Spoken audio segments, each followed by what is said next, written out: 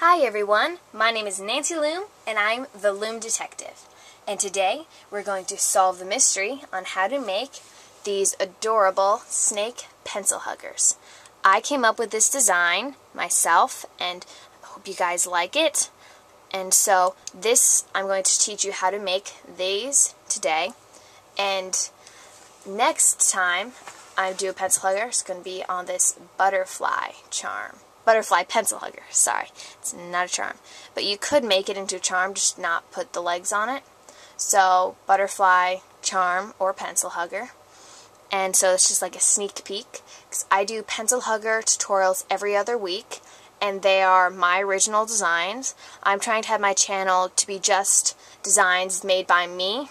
So it's not just a bunch of designs that other people made. So you get something new here. So enough talking. Now let's get on to making these snake pencil huggers.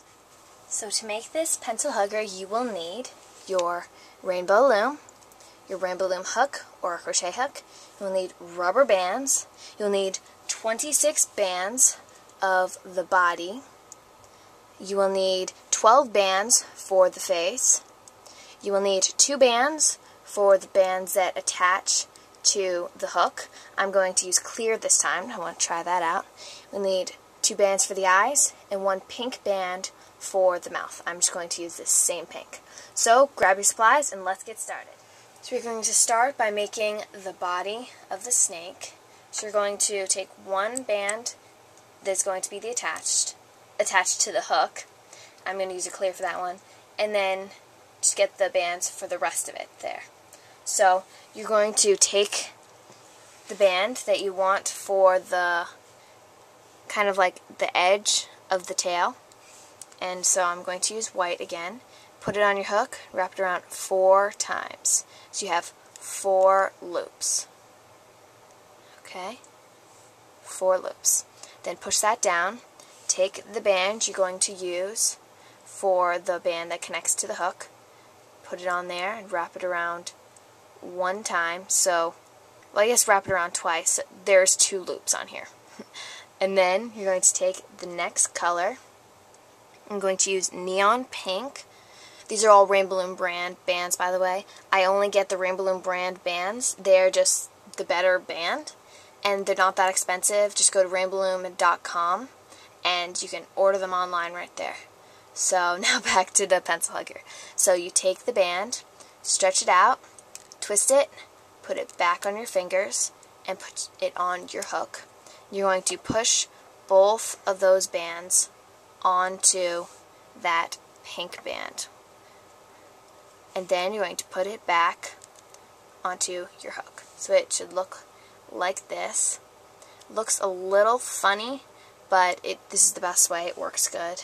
So take your next band, do the same thing, stretch it, twist it, it back onto itself, put it on the edge of the hook, and pull it through the other band.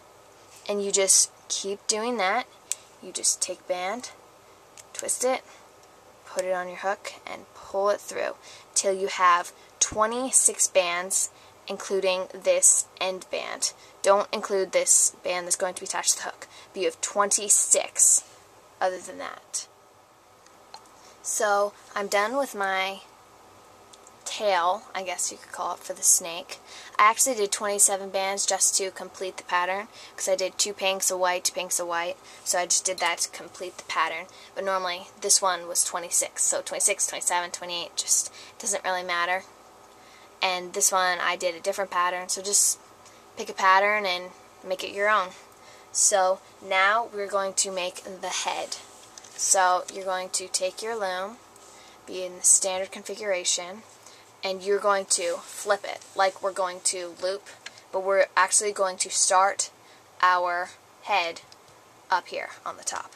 So take a band, the color for your head, stretch it out, twist it, put it back on itself, put it from the middle pin to the pin on the left. And grab another band, stretch it, twist it, put it on yourself, put it on itself, and then put it from the middle pin the pin on the right. And now you're going to do the same thing. These are actually called double capped bands, but this is just the easiest way to do them if you're going to be putting a lot. So you're going down two on this side, then you're going to go in towards the middle. Then you're going to keep doubling those bands, go two down on this side, and then go into the middle. So, and then we're going to, it should look like that, almost like a diamond. And now we're going to fill in the middle. So again, grab the band, stretch it, put it back on itself, and put it from the top to the second peg. And then you go down from the second to the third peg, and from the third to the fourth peg. And now we're going to do our eyes. So take your two bands for your eyes, and you'll also need one band the color of the head. So you're going to take your hook, just push down the tail or the body of the snake, take one of those blacks, you're going to put it on there, and then you're going to wrap it around four times. So you will have four loops. Four loops. And then push that down, take your other black band and do the same thing. So you wrap it around four times. You get four loops. So you have two black bands wrapped around four times each. Then take the band, same color as your head, as the snake's head. then you're going to take it, stretch it, twist it, put it back on itself. So you have a double cap band. And you're going to put these eyes onto that double capped band. So just put them onto that band. Take them one at a time. So you have this. Now you're going to put it on the second pin down on the left, all the way to the second pin down onto the right. And now you're just going to separate the eyes, put them on separate sides of the middle thing. You're going to take your hook, take the top part of the double cap band and push it up there. So it kind of makes a triangle. And now we are going to take this tail. I guess it would be the body of the snake, but it just kind of reminds me of a tail. So, oh, before we do that, we're going to add on the second band that's going to hold the head up there. So again, I'm using clear. So just put a triangle on these three pegs, and that will end up being your band that holds it on. And now you're going to take the snake's body, you're going to put it on this last pin. It's the fourth pin down in the middle. So you're going to put those bands onto there and then just pull it around so you can actually work with it. Now we're going to loop. So you're going to take your hook, reach behind those bands for the body. Grab the top double capped band. Whoops, I grabbed three of them. So just reach back and grab the top two. It's a little difficult, but if you can't get the right one, just like move it around again.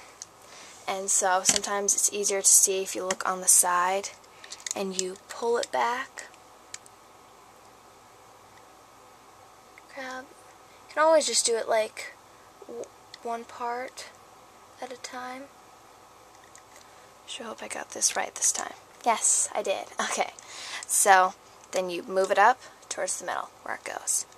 Then you're going to pull back again, grab the next double capped band, and move it back to where it goes.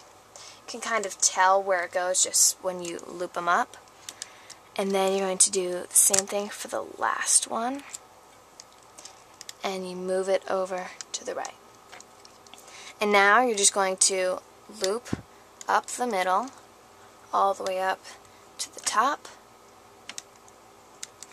Then you're going to loop the sides. You got to pull back all those bands. Grab the only the double capped band that's at the bottom. This one's a little trickier, but you still just do the same thing and then at the end you move it in towards the middle and do the same thing on this side just reach behind there pull up these bands, reach behind the eye bands. Oops. Grab those bands, pull them up, grab those bands, and pull them in towards the middle. And now is where we're going to make the tongue for our snake. And so if you don't like it like this with like the little loops, you can just take a regular band, pull it through, and then just cut it at the end. But I kind of like how these are, so I'll show you how to do this way. So take your band, whatever you're going to use for that. You're going to double cap it. Then you're going to reach in this last peg. Pull back the bands and stretch your hook out.